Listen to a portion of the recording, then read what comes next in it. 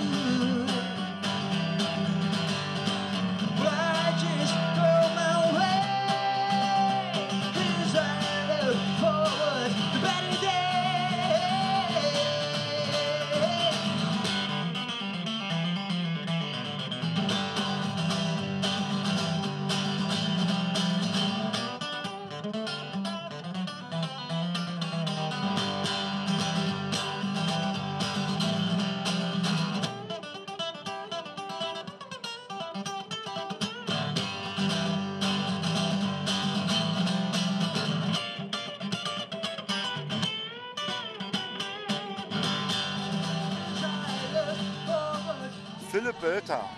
Das Gesicht kennen Sie, liebe Zuschauer. Er war nämlich im großen Fernsehen gewesen auf The Voice of Germany, hat dort oder durfte dort teilnehmen, muss man ja sagen, und ist eigentlich in Senftenberg geboren. Aber schon bei Zeiten ins hessische Land mit den Eltern umgezogen. Wie alt waren Sie, als Sie noch hier Senftenberger waren? Ich habe äh, eineinhalb Jahre hier, hier gelebt ja. quasi. Also ich bin in Lauchhammer geboren, 88 und ähm, ja, dann, dann, dann wurde ich einfach mitgezercht in Westen, ähm, wo ich dann auch groß geworden bin. Ich wollte eigentlich fragen, wo sind Sie zur Schule gegangen, aber das erübrigt sich ja dann. Haben Sie irgendwie mal einen anderen Beruf irgendwie in den Augen gehabt oder in dem Sinn oder wollten Sie schon immer Musik machen? Ne, ich hatte halt mit zehn Jahren hatte ich angefangen, Gitarre zu spielen und nach sechs Jahren, also mit, mit 16, war das für mich eigentlich auch klar, dass ich halt in die Richtung gehen will. Habe mit 18 Jahren dann das Abi abgebrochen und mich dann halt voll und ganz der Musik gewidmet. Wir haben ja jetzt zugehört hier. Ich muss sagen, Sie spielen eine exzellente Gitarre. Bei äh, The Voice of Germany waren Sie bei Bosshaus. Mhm. Und jetzt muss ich mal fragen, was lernt man da? Lernt man da überhaupt was oder stehen die da mit erhobenen Zeigefinger und sagen, also mein Junge, so nicht? Naja, im Prinzip so, so richtig viel lernen wie beim Studium oder in der Schule tut man da nicht. Ja. Man bereitet ja lediglich halt die, die, die Auftritte vor, die 90 Sekunden oder die 100 Sekunden, die ja. man dann in der Show ähm, performt. Und ja, es hat einen Gesangscoach, der geht mit dir die, die, die Tonhöhen und den Text durch. Der Sidecoach, der achtet dann noch mal ein bisschen mehr auf, auf äh, Gefühl und Ausdruck. Und letztendlich liegt es ja trotzdem an dir selber, ob du das jetzt auch anwendest oder nicht. Also es reißt ja keiner den Kopf ab, wenn du da jetzt einfach dann so frei Schnauze singst, wie du willst. Um, and the sheen stood still. Nothing could roll anywhere the kill. Forests did breathe, clean and blue were the seas, and the eternal loop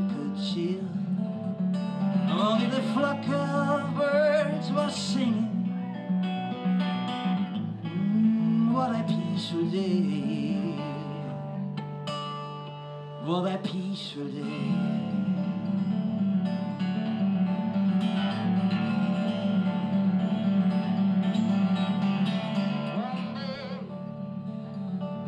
And the sky was clear of jet trails marching there from the sky.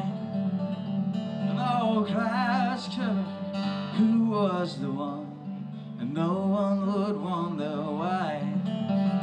And only the wind did whisper, mm, what a peaceful day.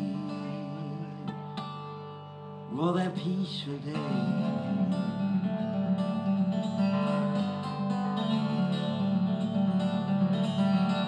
What a peaceful day.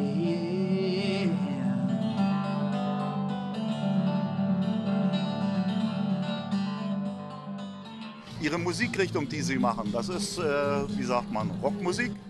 Ich glaube, ich würde es äh, als Oberbegriff Rock bezeichnen, ja, und dann gliedert sich das ja eh wahnsinnig toll auf. Ich würde sagen, es ist äh, rockiger Folk mit äh, Blues-Einflüssen oder, oder bluesiger Folk-Rock, sowas, glaube ich, trifft es ganz gut. Eigene Titel sind auch schon dabei. Ja, bisher alles. Also, bis, genau, also ich, ich schreibe viele, viele eigene Songs und habe auch äh, drei Alben schon veröffentlicht. Das Neue soll dann im Februar kommen auf Schallplatte. Ja. Ganz, äh, ganz, ganz traditionell quasi äh, oder äh, ja, retro. Wir haben es auch analog aufgenommen auf Bandmaschine und machen halt eine Schallplatte, da hört sich halt musikalischer an. Es geht halt nicht verloren durch, durch digitale Einbußen oder so. Und es ist wirklich Musik drauf. Und die Mundharmonika lockert die ganze Sache noch etwas auf. Ja genau, ich meine, ich kann mit der Gitarre unten halt Bässe noch dazu spielen, die, Akkord die Harmonien legen, einen Rhythmus geben. Ja, und äh, entweder könnte ich jetzt dazu pfeifen, wenn ich gerade nicht singe, oder Mundharmonika spielen. Und das hat sich auch, auch bei, bei vielen anderen Künstlern schon häufig bewährt. Drum, drum mache ich das so. Nochmal The Voice of Germany. Wie ist das da? Wo sind Sie da untergebracht? Müssen Sie das selber bezahlen oder kriegen Sie da sogar eine kleine Gage? Nee, das, das wäre es ja. nee, nee. Wir wurden immer äh, fleißig im, äh, im, im Hotel untergebracht, in Adlershof. Ähm, es hatte vier Sterne sogar und da wurden die Zimmer bezahlt ähm, und, und die, die äh, Flatrate fürs Internet und so weiter. Und Frühstück war dabei. Ich glaube, sonst Essen und, äh, und, und die Bar, die Barrechnung muss man dann selber bezahlen. Die anderen Kollegen, die Mädels und Jungs, die auch um den Titel gekämpft haben, wie sind die so oder wie sind Sie mit denen so klargekommen? Sind die neidisch oder gibt es da Zoff oder sowas? Das gar nicht. Also Zoff und, und Neid hat man so jetzt nicht gespürt. Es waren ja anfangs in der ersten Phase 160 Leute da. Ja. Ja, ich glaube, im Fernsehen wurden dann nur 110 maximal ausgestrahlt von den 90, die weiterkamen. Äh, also, und die 90 hat klar, die weiterkamen, so rum. Ähm, ist alles, also es war ein sehr bunter Haufen. Es gab halt sowohl äh, vom, vom Charakter als auch äußerlich verschiedenste oder, oder alle möglichen Leute. Ähm, alle Typen waren da vertreten. Ähm, und, und ich habe mir halt so so ein paar Leute gesucht, ja, mit, mit denen ich halt am besten klarkomme. Und die sind aber teils alle dann auch bei den, bei den Showdowns mit rausgeflogen, also da, wo ich auch rausgeflogen bin. Äh, ich sage es immer ganz, ganz liebevoll, die ganzen Vögel, mit denen man halt auch, auch mal an der Bar bis spät in die Nacht sitzen konnte oder draußen. Wir hatten immer schönes Wetter. Und es hat sich dann angefühlt wie Klassenfahrt. Das war eigentlich ziemlich, ziemlich schön. Halt im Sommer, sonnig auf der Terrasse in den Freizeiten. Well, I kissed a girl for the first time. stay alive.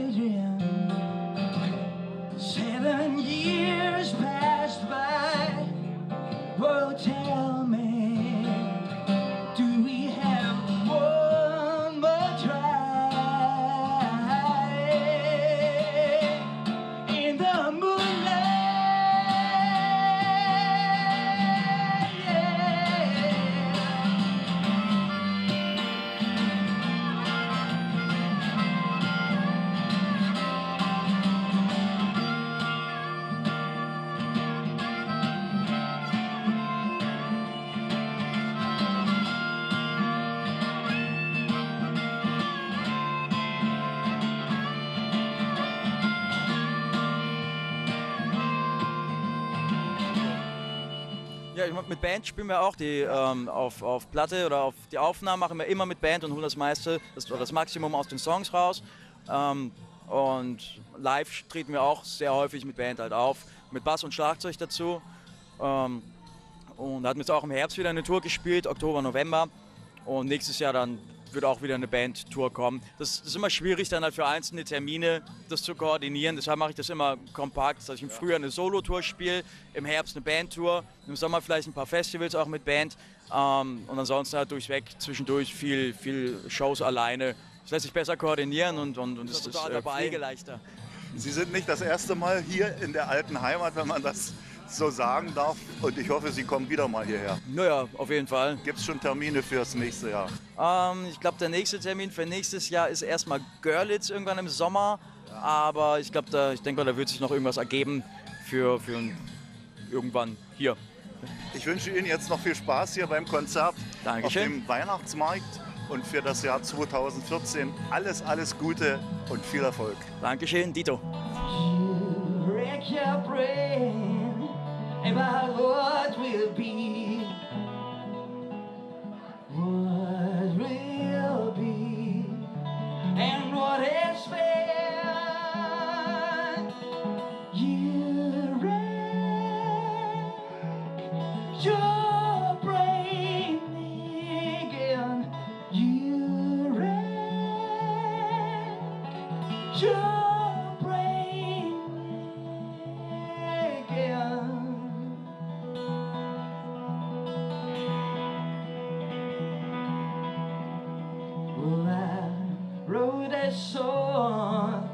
When your heart did hurt. Don't you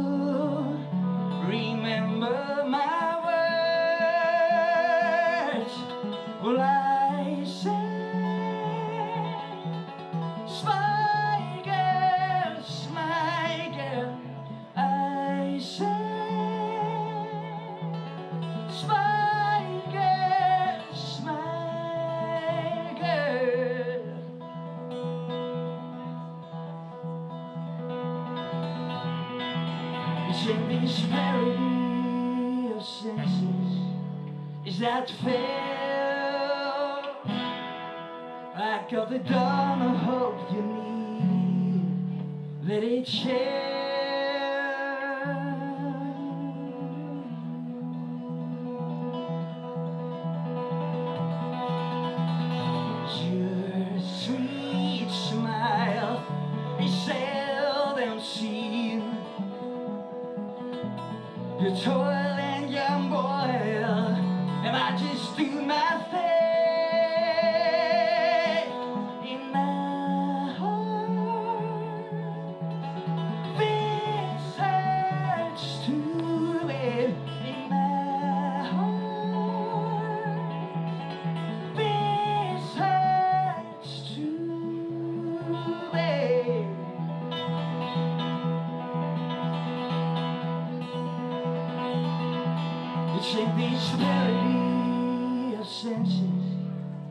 Is that fair? I got the dawn of hope you need. Let it share.